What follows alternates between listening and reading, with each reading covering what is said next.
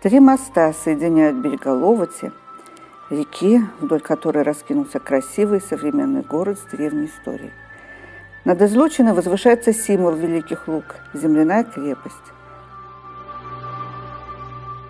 Постоим секунду и пойдем дальше, к памятнику Александру Матросову.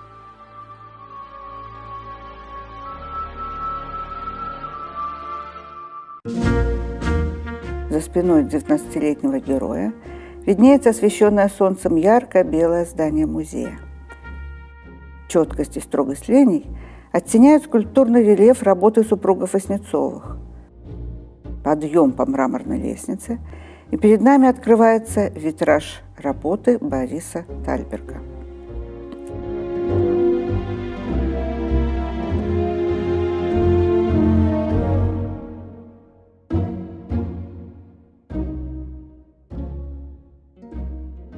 Касаясь трех великих океанов, она лежит, раскинув города, покрыта сеткою меридианов, непобедима, широка, горда.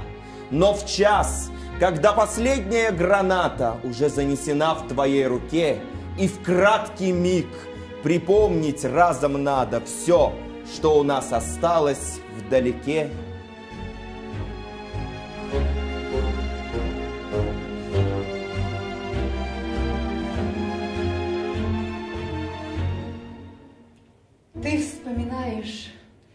страну большую, какую ты изъездил и узнал.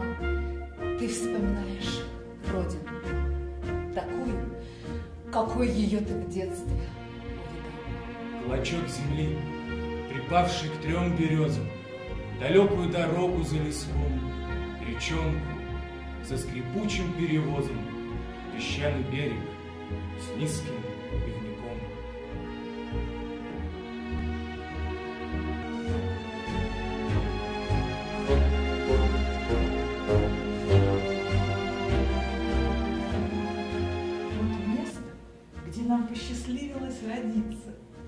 где на всю жизнь, до смерти мы нашли ту горсть земли, которая годится, чтобы видеть в ней приметы всей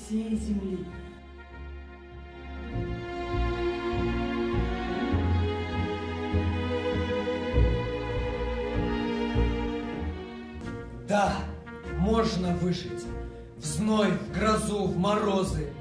Да, можно голодать и холодать. Идти на смерть но эти три березы при жизни никому нельзя отдать.